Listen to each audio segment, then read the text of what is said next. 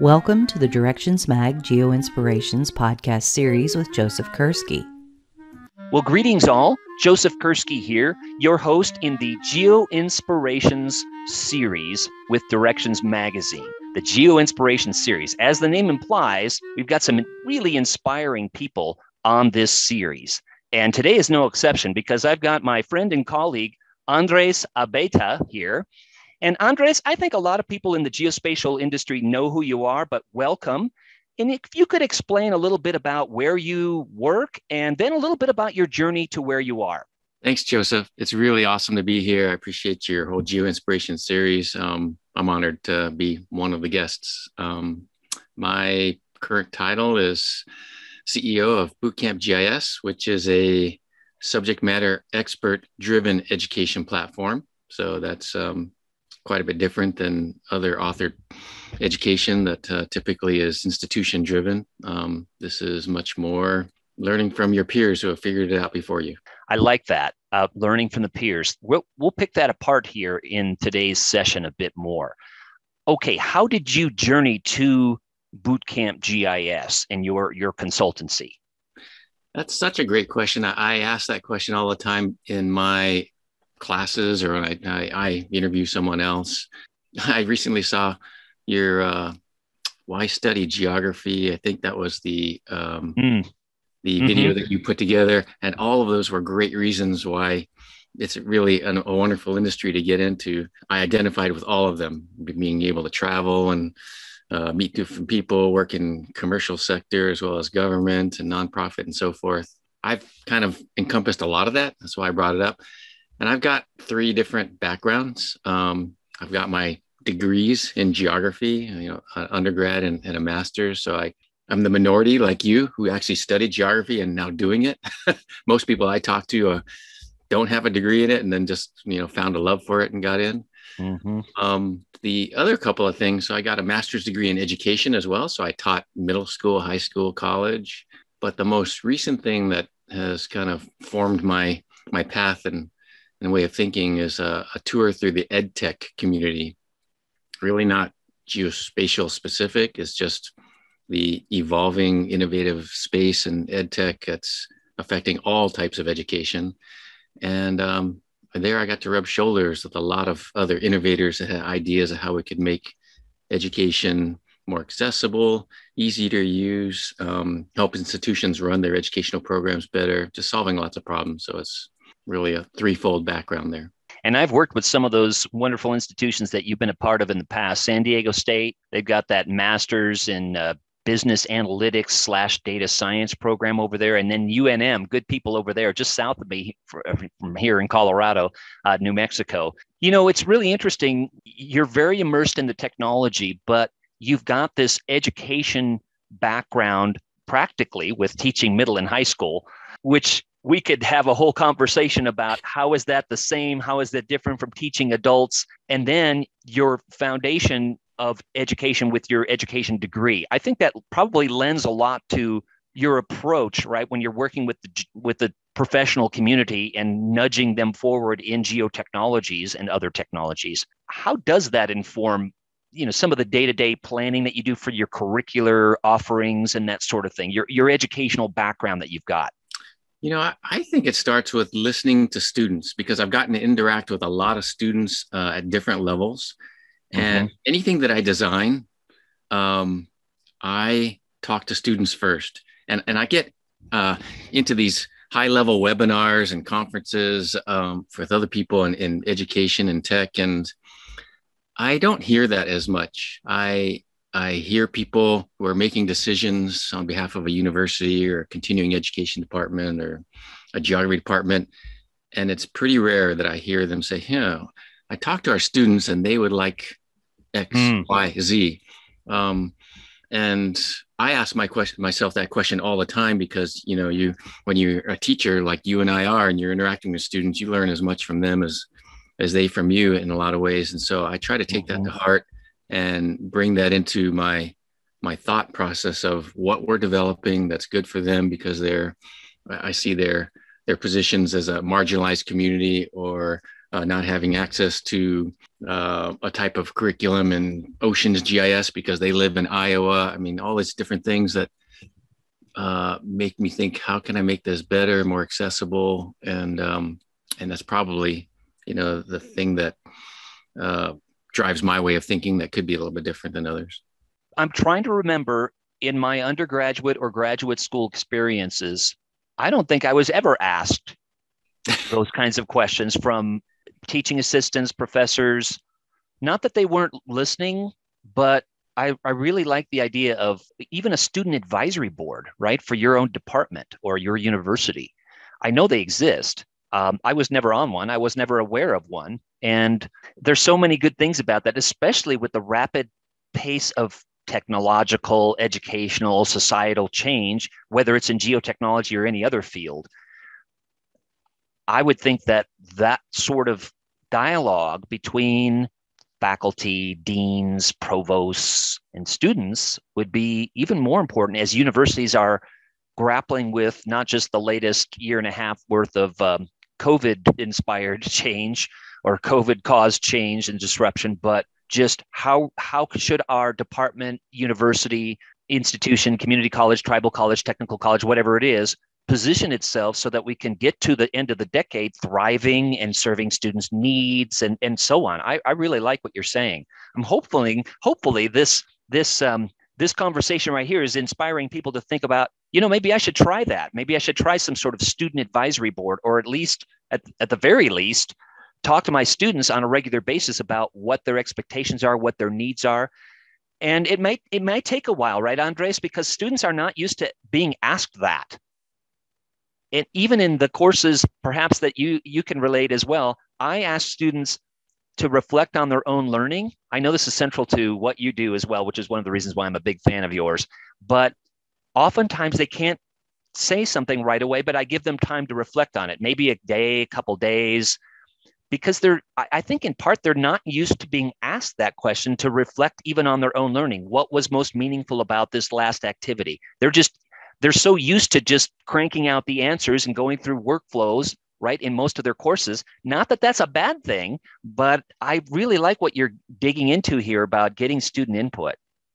Yeah i give these presentations um, to student groups. I purposely go to a texas state a, a um, UC Riverside or San Diego State, and I find the Geographic Society or um, some geographic student organization, and I want to give them a presentation. I want to tell them about really a lot of things I'm going to speak about today, and say here's here's a view that you should probably know about from somebody in education and uh, and geography and been through it a bunch of years. But when after I say these things, I want to hear what do you think about that. So I get positive feedback because I think it's uh, an innovative um, uh, perspective. But the neat thing about it is they they have a voice. They have a strong opinions about what their current education is giving them or not giving them, and education is one of those areas that's been insulated from like the commercial sector, which has to behave with this feedback mechanism.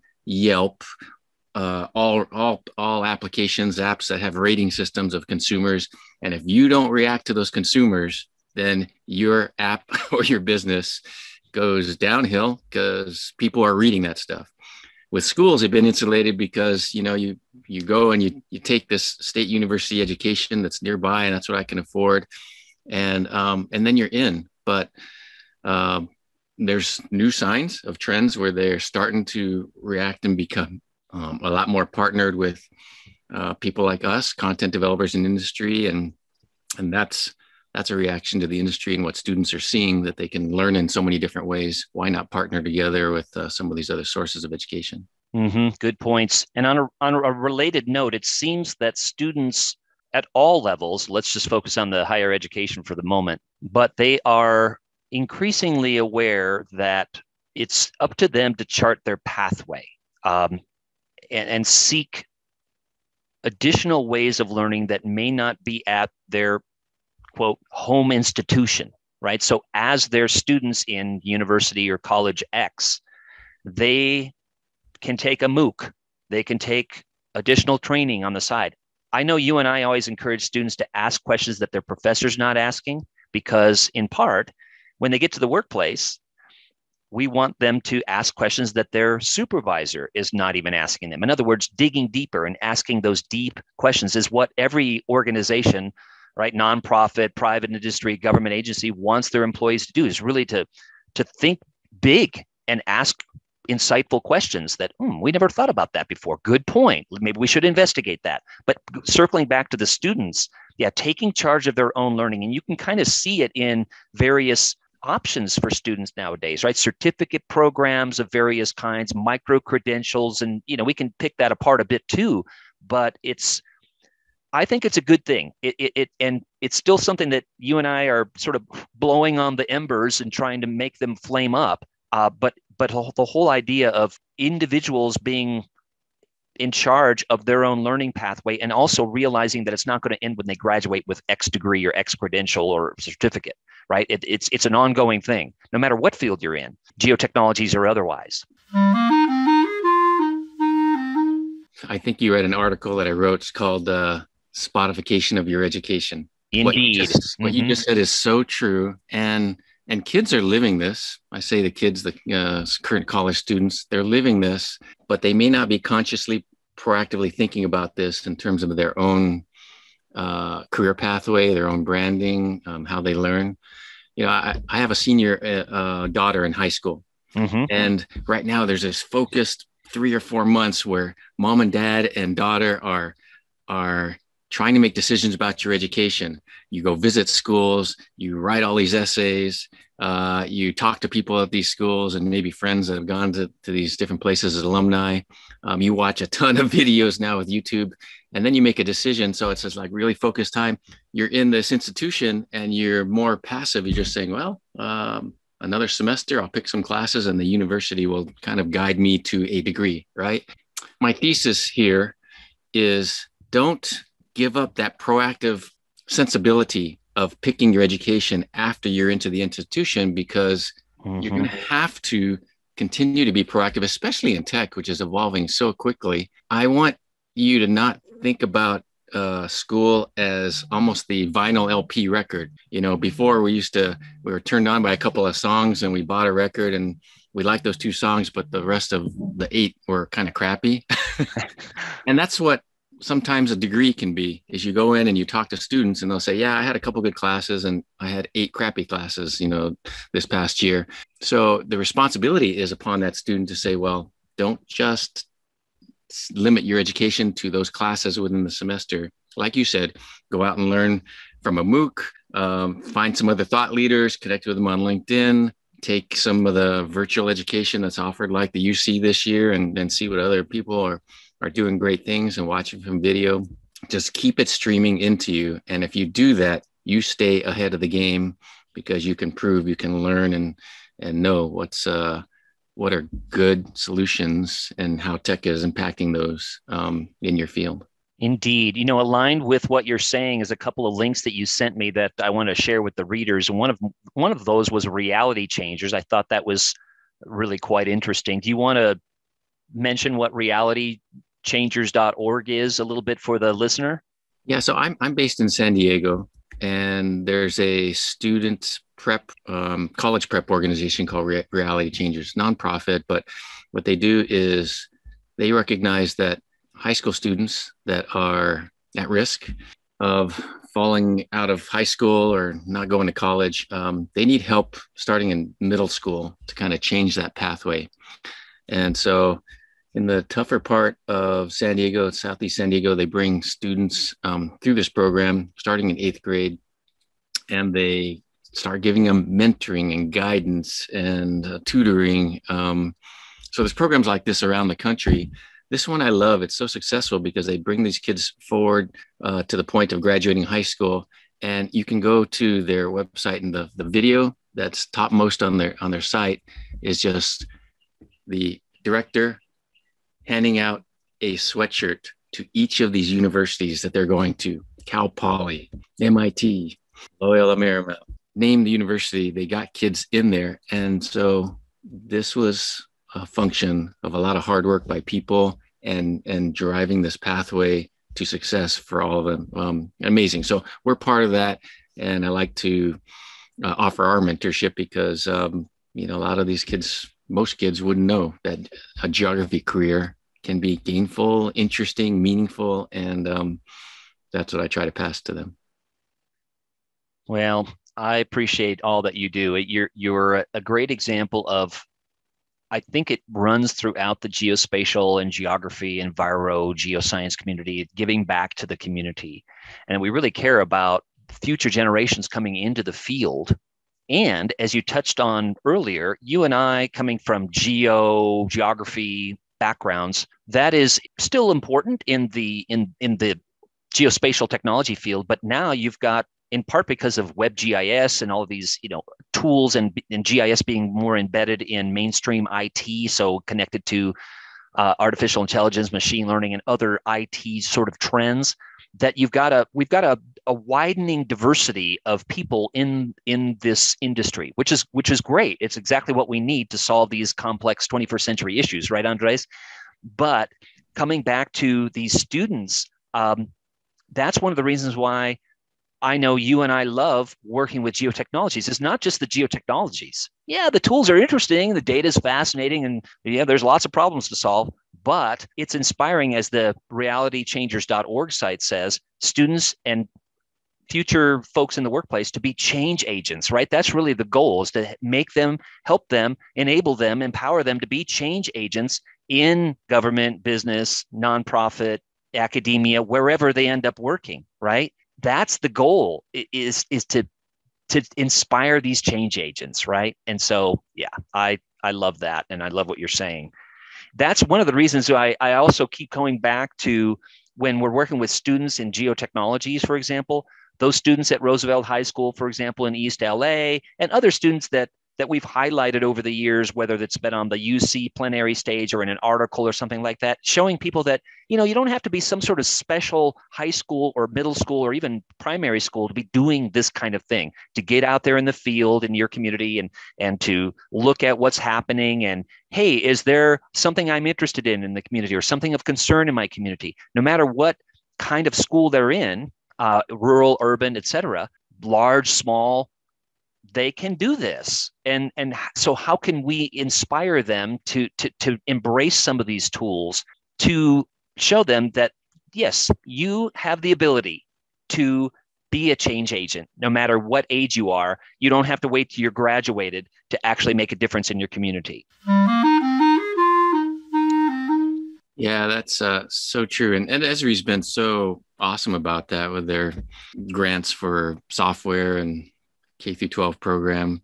Um, I think that arming schools with the advisors like us or mentors in, in that capacity is a really good thing.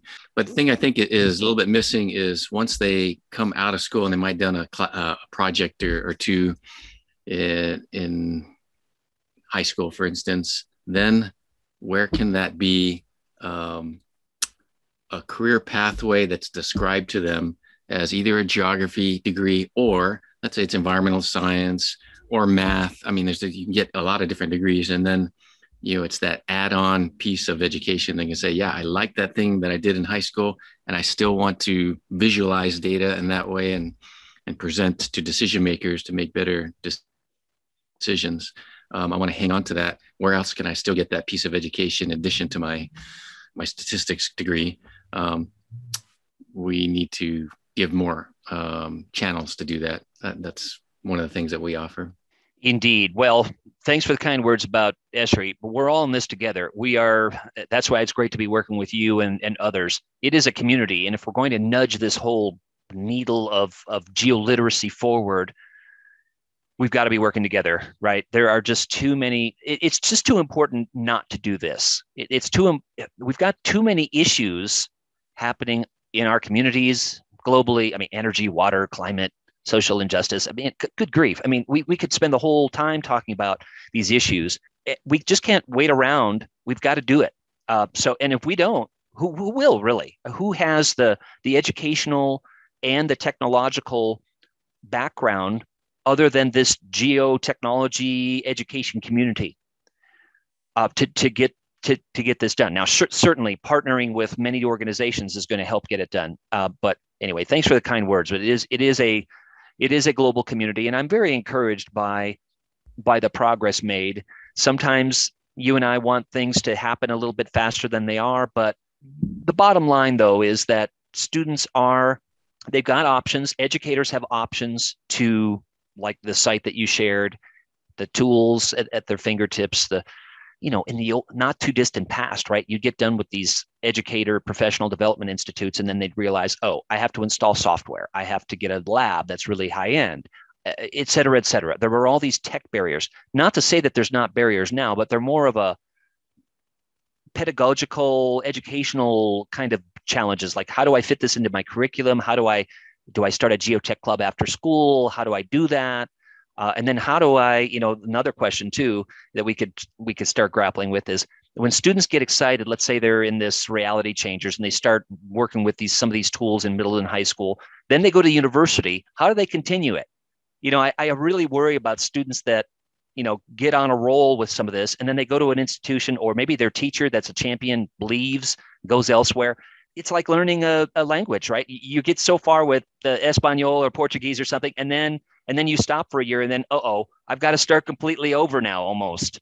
Yeah that's right. Sustained uh, education that's why this idea of thinking um, it's not your institution that is entirely responsible for your education it's you. So you got to give them some alternatives. Um, so more content providers like us are going to spring up and offer other types of uh, avenues to keep learning stay in contact with professionals and that's a good thing and what do you think, Andres, that we really need to be grappling with and working on? You know, here it is at the time of this recording, mid 2021. You know, thinking maybe 2025 or 2030, where do we need to, what needs to happen to get us to a point in society where people are aware of these capabilities, they're empowered, they're confident that they can do it no matter, no matter what profession they're in or no matter what age level or background they might have. Where, what do you think we need to be doing? It's an evolution of the current education structures. It's already happening. Um, and it's happened a lot faster even now with COVID uh, in place. So before COVID, we went to high school, maybe went to college, and you took these programs that these institutions told us, uh, hey, in four years, you're going to get a degree in or high school diploma, and then maybe in four years, you're going to get a, high, a college degree. And those, those were the chunks of education. COVID has now forced all of our eyes wide open as parents watching our kids learn to students themselves being subject to limited um, educational delivery by these institutions saying where else can i learn things that's the start of it now universities for instance have said okay now coming back after covid how are we going to bring that audience back and be connected to us uh, uh, uh, showing value um, in their tuitions with us, they're going to have to evolve very quickly. And, and the trend is to partner with people who can make education that's more modern, faster, more applied than they can. I've been told by university professors it takes them about two years to get a, a, a course on the course catalog at a university and another year to market it, get students.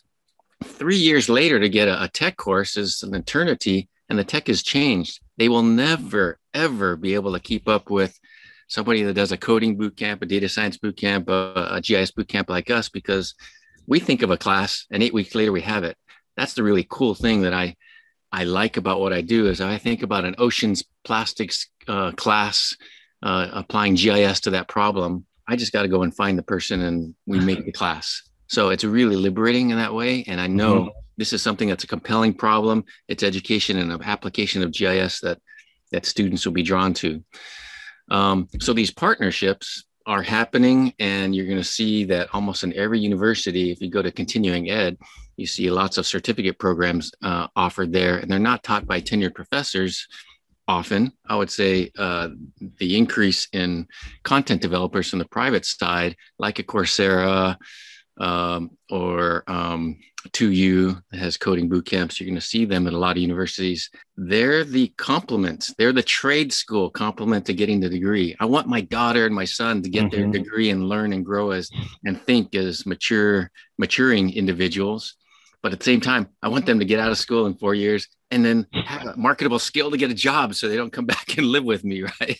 So, um, so this this partnership idea of bringing almost like I think of it as the trade school um, in to be uh, offered as a, a new channel with uh, your degree is going to be suggested and even essential, I think, in tech because um, you know you can't keep up with it as a tenured professor. It's impossible. Nobody can. So you've got to have more sources and people paying their attention to what's happening to show others this is what you should know.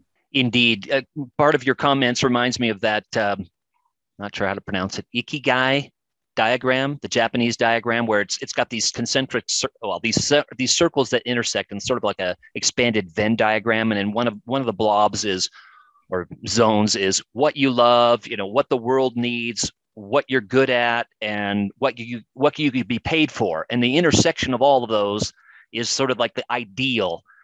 Uh, so it touches on what you were saying before. Sure, uh, when you and I work with environmental science majors, for example, we say oh, it's it's great that you're passionate about the environment. Hopefully, everyone is. We all want to protect it and preserve it and be able to enjoy planet Earth. How can you gain some skills and perspectives that you can take to the EPA or the United Nations Environment Program or your state DNR or whoever it is with some concrete things that they'll actually pay you to do because it's it's they're not going to pay you to be interested in the environment, right? They're going to pay you because you're going to contribute something to their organization. So to your point about, yeah, you want your own kids and, and the, the, the global community to, to be passionate about aspects of planet Earth, but then have the skills that they can contribute in meaningful ways to that organization. Um, and speaking of the organization, you know, one of the things I really admire about you, Andres, is that you're one of the few people that have blazed their own business trail in geospatial education. And so, if you could, uh, there's not that many people that have been successful in doing that. It's it's a hard thing. My I, I was sharing you with with you before we started formally chatting here that my own parents ran their own business when I was a kid. Uh, it was a it was a motel, so we lived there. It was one of those where you know you live behind the office. That's where the apartment is. So our whole family lived there. My mom was also a school teacher, which is awesome, reflecting on your own background. But I know it was hard. They are never off duty. Uh, we could very seldom go anywhere overnight because, of course, that's when they needed to be there to to help the guests and to be open so the guests could register and so on. So I know it's hard work, even from that, but also working with others, you know, in my adult life. But how did you how did you get there? How, how did you I mean, you mentioned one of the one of the you know maybe secrets to the success is listening to the user's needs. But how did you blaze that pathway? I mean, you could have, with your background, you could be a university professor full time. You could be a K through 12 instructor. You could be in a nonprofit. You could be anywhere with with the background and skills that you've got. How do you, how did you blaze into the the boot camp GIS?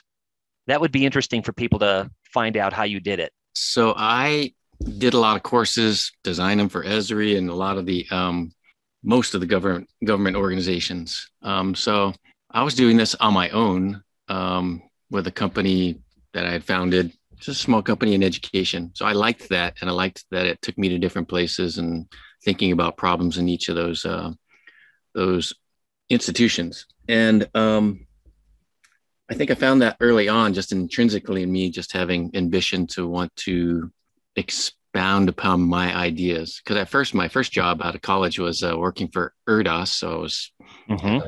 Geography degree doing remote sensing, and but I was teaching for them, and I, I liked that. I like the interpersonal aspect of using tech, but still interacting with people. Love that. Um, so I would say, as an advice to people thinking about their careers, don't just think about getting a job as a GIS analyst because there's, as you mentioned, there's ge- geospatial is so diverse and where you can apply it.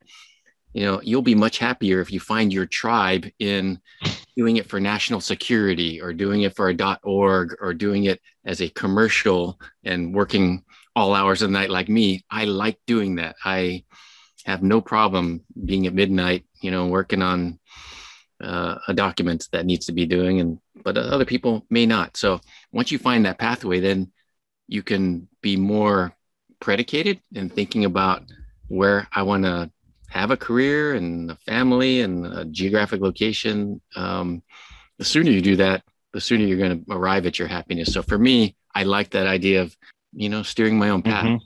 I, I, will say one more thing to that is that uh, I got accepted into a startup incubator, a couple of them actually, one in San Diego, but the one that uh, really blew my socks off was going to New York. I moved there for three months because I got accepted as one of nine companies in the world that got to go into an ed tech incubator in the in the nucleus of education, and it got exposed in meeting with all of the heavy hitters in education, Macmillan and McGraw Hill and mm-hmm. uh, Kaplan. I mean, just and investors, and and being there, it was just like that was my tribe. I felt kindred spirits with other people who are working their their tails off at all hours of the night trying to solve problems in education and that's one of the things that um, I was drawn to. I knew it right away. Yeah, thanks for asking that question because uh, that's a good one to think about right away as you're coming out of college, possibly, is where will I be happiest? Not just, I want to do GIS. Indeed. I think about the long hours comments of yours, and I didn't fully realize when I was an undergraduate, for example, or especially in primary and secondary, how many hours you would dedicate to your career. And so to the point of, I think in, in, in some ways, you and I and others in the community, we would find a way to do what we're doing, at least part of it, even if we weren't getting paid, right? We are just so passionate about that this is important this whole idea of spatial literacy and empowering people with geotechnology tools and and so on. So somehow we would find a way. Yes. but on the other hand there are the practicalities of okay uh, i do like to travel as a geographer and i'm sure you can relate. That takes money. Okay how do i get that uh, those funds to do it? Um, but i one of the things that i just wanted to share with you know building on your comments that you know advice for people listening to this is that try to pick something that you're very passionate about, as you're very well saying, Andres, because you will spend so many hours in it. Now, my heart goes out to people that are stuck in their position and they're waiting for you know five o'clock or whatever closing time is so they can get out of there uh, again that I've had positions like that as well. That's frustrating, and so I don't. I don't want people to think you could just leave. Uh, no, the practicalities are maybe that's the only opportunity in your community right now for you. Okay, but if you're in a position where you're s- s- blazing the you're, you're you're planning your next your your future trails, try to pick something that you have an intrinsic passion about kind of like your master's thesis. You know, when your advisors say, you know, it, it, doesn't matter so much what I think. What are you really interested in? Because that's going to motivate you to keep working at it until you get it done. Kind of like that uh, for your job position. P- pick something that you're not going to be constantly watching the clock. And like you said, Andres, if it's if it's midnight and you need to get something done, you're still motivated to do it uh, because you care about it. And so I think that's that's an important uh, uh, element here. Also, I really like your kindred spirits of picking a community or communities. It may be multiple communities that you're that you've got lots of common interests with people. But also, I know you and I uh, are also doing the following: encouraging people to go outside of their comfort zone. You know, so even if it's a small thing like going to a conference and going to a track for maybe one morning in the not too distant past when it was face to face, going down the hall and go to, going to a different track that's totally outside of your own, you know, wheelhouse. And you learn some new things. You find out about what they're interested in. You meet some new, int- new and interesting people. You know, so encouraging people to kind of branch out out of that, you know, kindred spirits as well to keep us challenged. I think that's an important part too. So uh, thanks for thanks for touching on that whole, you know, community as well as reaching out to like you were talking about earlier, um, and encouraging other people to get into this field as well. Yeah, um, so much horizontal uh, mobility that's that you have the capacity to do with our field because it's so diverse. So all you got to do is think about it, learn something in that area, connect with a few people, and you never know what's going to be your next opportunity. Indeed. You touched on this a bit, but maybe we could just spend a moment talking about this. The, the needs of the learner. Uh, you're very much in touch with the needs of the learner. I mean, you've crafted your whole business around that. We want to come back to what you do specifically day to day in your business, but also um, maybe for right now, how do you see the needs of the learner changing? Yeah. And, and and are we are we meeting those needs? It's a good question. So you know everybody's heard of the term student centered education, um, mm-hmm. But uh, in tech, it really has moved to very specific learning. You know we don't want a semester long class in auto mechanics. I just want to go in and, and find the 10 minute video that says how do i disassemble my entire front grill in my toyota acura just to change out the dead headlight? That's a common problem. If i get meaningful education like that i feel very very validated. So this is the new learner that we're dealing with that says i don't have time for generalities college is full of generalities yes, go there, get your degree, as I, I said, but you're going to have to find your real specific learning, just like I, I said. And also, you know, you know, you want stuff in real time. You're getting rides, rooms, rigatoni served to us with just a few clicks of a button, right? So, who, who wants to go through the current structure? I've, I've looked at um, 120 GIS certificate programs around the country, and I see I've written all of their attributes down in, in a survey. And the typical GIS certificate program is one that's built on an old structure that's like apply in March. You'll get a decision in May in which they're going to accept you. Then you're going to start in September with some cohort that's going to go through for six months to a year and a half. And that's not serving me because I don't want to wait six months to get something that I want right now. Mm-hmm. I want to, I want to learn how to apply GIS right now. I have the time I'm, I'm unemployed or I don't have a, uh, I have some time off that I want to spend learning something. So mm-hmm. the good news is that there's more certificate programs out there, more academic and, and private partnerships who are thinking about this. And um, if you're proactive and you go look at them, there are plenty of other blends of GIS to learn about is how GIS works in the cloud or with data science or with UAV, you know, as a data source, things like that. Indeed. And with your statement about that you do listen to the the user community, it's obvious that you're doing constant research about changing needs.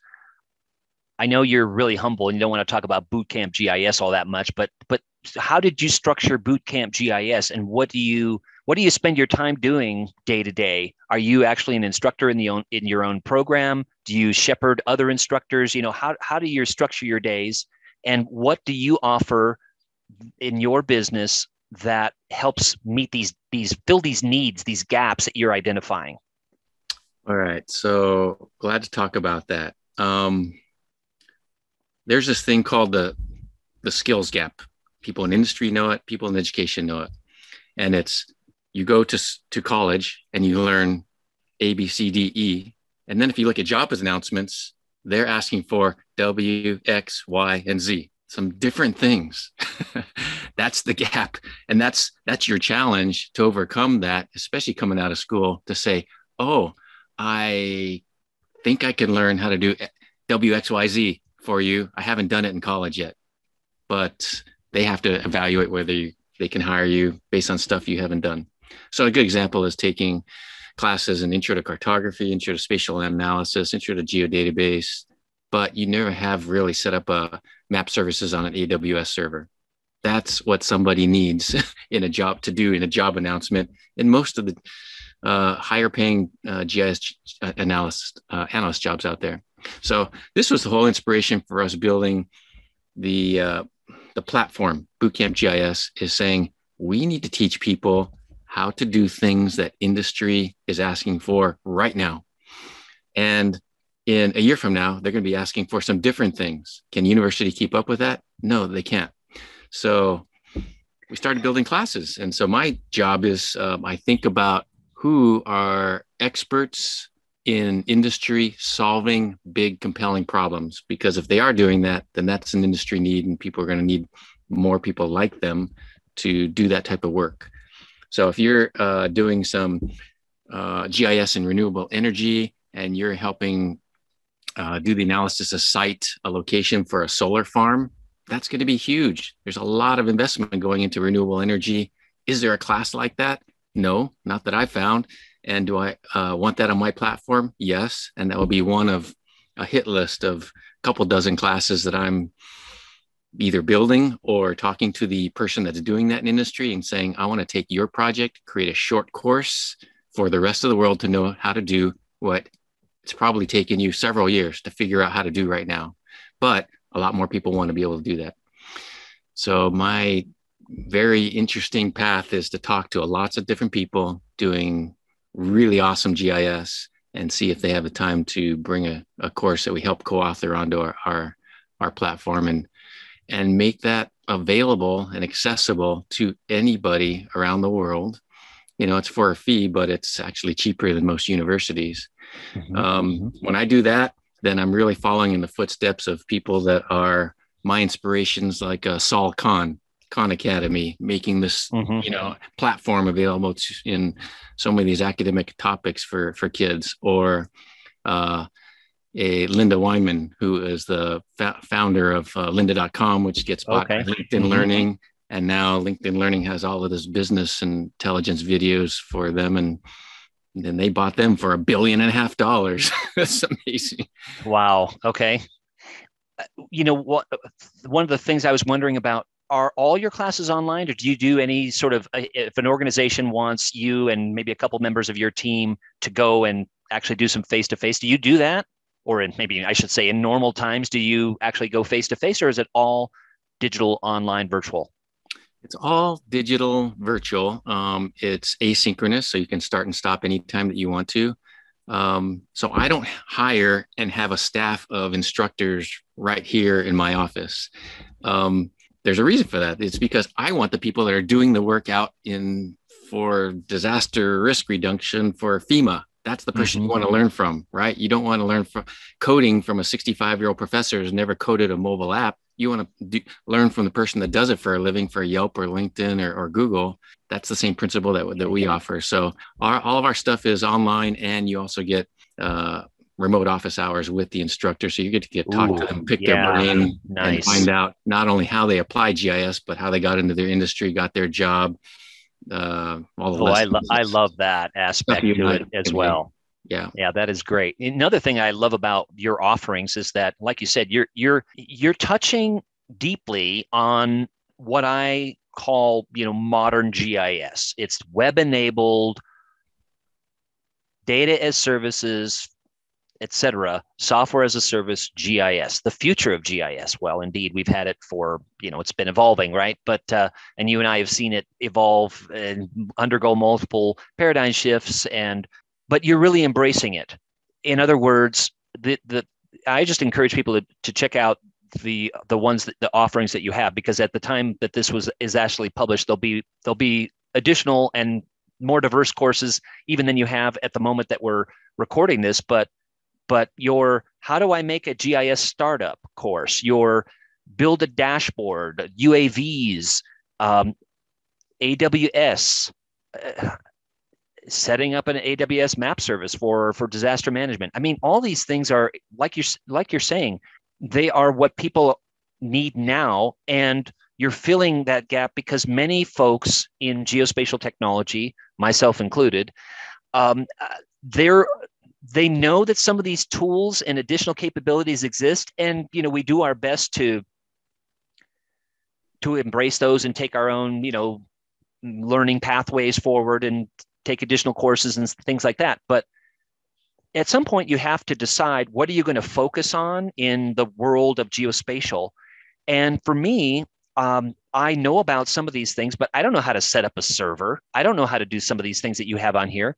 But they're important, like you said, and people are are needing those those skills in their organization and they're not going to get it from someone like me that is in you know spatial analysis and education and that sort of thing. They need they need someone who's taken some of the courses that you've got here. So you're really embracing the uh, this whole notion of gis for the 2020s and beyond the modern gis Yeah, the the the paradigm has shifted, and and the higher education system is going to have to evolve very quickly. So the current paradigm, and I've worked for both academia and government institutions, and their paradigm is the same. It's the one to many distribution of knowledge. I, as an expert at uh, in GIS, go to the National Training Center at the U.S. Forest Service in Salt Lake City, and I say, "Hey, let me tell you how you use GIS for all you foresters." I'm not a forester, but I contrive some exercises, and and I tell them how to do it, and um, and I can only convey what I know. And not being a forester that's really tough. So the paradigm sh- and so that happens for all of the organizations as well as tenured professors. Now if you look to the new model of education it's many to many peer to peer that's youtube you know i don't care if you don't have a phd next to your name as the auto mechanic but you are going to show me that video that i just talked about with changing the headlight that's cool um, so as long as we have many people figuring out things just ahead of us and how to site that solar farm using GIS that you just learned to do over the last year. That's awesome. That's what I want to know. And I know that's marketable because renewable energy is is our future. And so we need more eye on the ball of here's the future. Let's build that course, build that education, make it accessible. And when you have that peer-to-peer structure in most services, it wins out over the one to many. And so that's where education is going to have to face the face this this change especially the older institutions. People want that. They want to be part of it. Mm-hmm. And anybody listening on this call if you got an idea and you're really good at solar mapping of a solar farm call me because we can build a class together Uh, I love all these comments and insights that you're sharing. I think one of the things that I just wanted to reflect on is you and I have the honor, really, of working with a wide variety of people, including many, many innovative instructors and students in academia, traditional institutions. And many of them are very forward thinking about geotechnologies and educational theory and all the things that we've touched on uh, here in the call. I think one of the freeing uh, things for those academic instructors who grapple with the rapid pace of change in geo gi science geotechnologies is how can i possibly embrace all of these elements of machine learning artificial intelligence augmented reality and iot everything else that's going on that are now connected to geospatial technology how can i possibly teach all of that well, I think the the the freeing moment for them is that you don't have to teach all of these things, but it's good to expose students to some of the things that the, some of the elements that you're immersed in, Andres. But yet knowing that when the time comes for those students to uh, apply for those positions to get additional training and so on they'll have your foundations that you've laid in your university courses and then they've got courses like the ones you're offering to get them to that next level. So in other words, the pressure is a little bit off of these of the university professors. They still have a key role. You have a key role in the community. So again, it's it's it's like a rising tide floating these boats. These yeah. lots of lots of elements of, of a person's pathway in education are are incredibly relevant. It's not just one thing.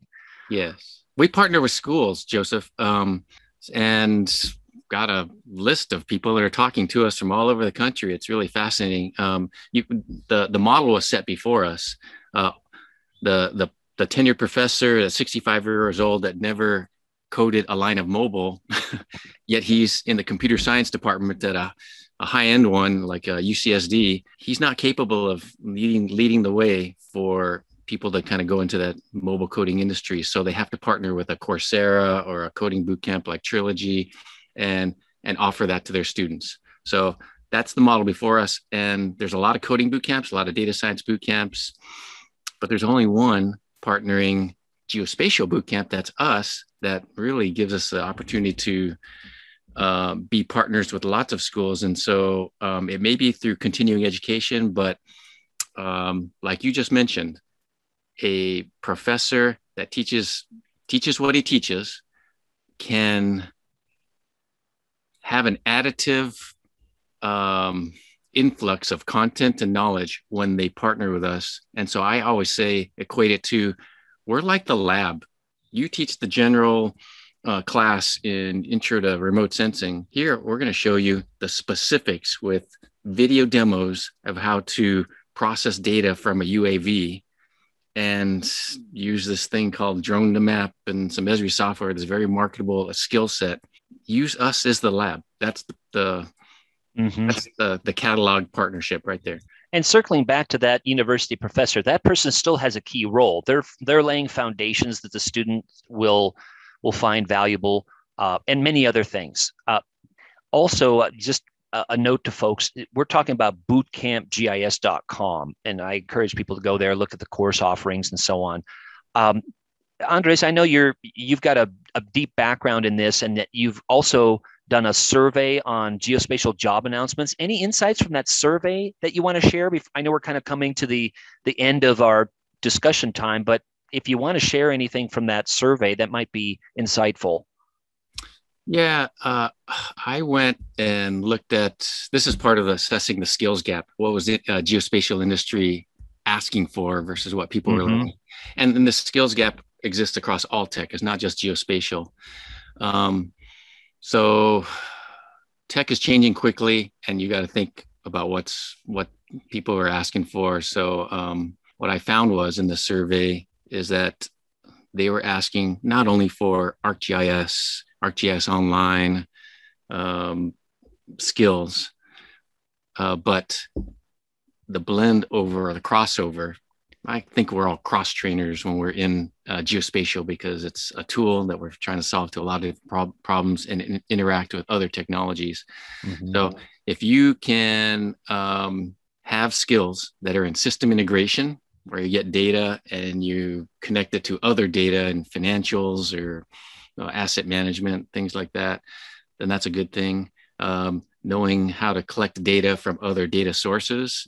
We have these things in our pocket that are the data sources of location, the smartphone, the UAVs. Um, those things are not typically taught in most colleges that I found. Um, I think less than 5% of the, of the certificate programs had any type of UAV program um, getting into cloud, knowing uh, cloud architecture. And if you've got any skills in setting up map systems and putting up dashboards in the cloud, then you are that may be the most marketable thing right there. You know, everybody's seen the Johns Hopkins COVID map, the most mm-hmm. consumed map in world history. And you can learn how to do exactly that. Anybody can, uh, but you got to go and seek out how to learn that and practice it. Um, so it's stuff like that that we found on this uh, the survey of job announcements that um, anybody can do. It doesn't have to be me. So I, I surveyed about three or four hundred job announcements, but you, as a student coming out of college, possibly just go out and look at Indeed, GIS Jobs Clearinghouse, look at 30 job announcements, see what types of skills that they are asking for. And then you got to really ask yourself, do I have those? And if not, how am I going to learn some of them? Mm-hmm. And if you go and start learning some of them, you elevate yourself immensely in your opportunities. It is a team effort with all of us looking at this sort of, you know, GIS, uh, the tea leaves, the crystal ball, whatever we want to call it, to figure out what what people will need even two or three years down the road is a challenge with the rapid pace of change. But like you said, if you've got some of these skills that those courses of yours address system architecture you know i'm in education and i don't work with a lot of those kinds of folks but even the people in education for example at major universities or even even community and tribal and technical colleges that have the systems background and they know gis they're incredibly valued at their own institution and nobody else knows how to do it except a small team or sometimes just one person at their whole on their whole campus. So they are they're indispensable really on their campus um, and they seem to really enjoy what they're doing because they're serving their users and they're um, they're really um, they know the technology and they know the potential of it they're not maybe doing the, the spatial analysis day to day because they can't they they they're they're the systems uh, folks making everything happen so that people can be successful with geotechnology so can I, things, can I, say, can I say yeah. something just also to add on to that? So yes, those people are indispensable and there's too few of them. So the other part mm-hmm. of my my my survey is I just talked to uh, project manager, project managers from all these different organizations, and I say, hey, how's how's the talent out there for hiring? And they say, wow, it sucks. We can't mm. hire anybody because, uh, as I mentioned, there's a skills gap, and people are coming out with a geography degree and are not prepared to do the job that we have have announced. They this is a national interest, I think. I think it's of national interest for our country to produce more people that are ready to be geospatial professionals, not just know a piece of software, um, but know how to really implement and integrate. And if you can do that, then you know the world's your oyster because you're going to have a lot of different opportunities. And these project managers say, if you keep going, Andres, if you can create another hundred solution architects, I'm going to start hiring from you as soon as you can because there is no ge- uh, geography program that produces a solution architect. Solutions, which mm-hmm. is mm-hmm. architecting workflows and and integration of data and systems. Yeah, extremely good point. Certainly, the awareness of the value of maybe people don't even call it geospatial technologies, but you referred to the COVID dashboard. Bill Nye interviewed Jack Dangermond and Kathryn Sullivan, and Jack mentioned the COVID JHU dashboard has been viewed 2 trillion times now. So, like you said, the most popular, unfortunately, but it was for a good reason. People needed to use it and they still need to use it to make daily decisions, and communities need to use it to, to set policies and so on and so forth. But at least the awareness of, oh, these dashboards, these maps that Andres and Joseph have been talking about for years, is that what you guys are talking about? Is that what you mean? Oh, I get it now, at least in part. So the awareness is at maybe an all time high in our career, but they don't always connect it to, okay, like you said, how can I actually get a career? Is this a, a thing? This is a, a career option? Uh, and, and I think another nice message for the listeners that, you know, thinking about the background, even of just you and I talking about here, we've been in lots of different sectors of society. And so I think the message for folks is you are marketable in lots of different areas disciplines, health, public safety, right, natural hazards, business, engineering, et cetera, but also in different sectors, nonprofit, academia, private industry, um, eh, government. So you've got a lot of options. And as you your pathway and mine have shown, you can you can change. You're not stuck with one pathway even. So I think that's those are all encouraging messages that you know for the for the listener here. Okay, Andres, we're we're we're rapidly, sadly, running out of time. One of the things that you sent me though was that your two gratifying passions are to help students discover a meaningful career without going broke, which I love the way you phrase that.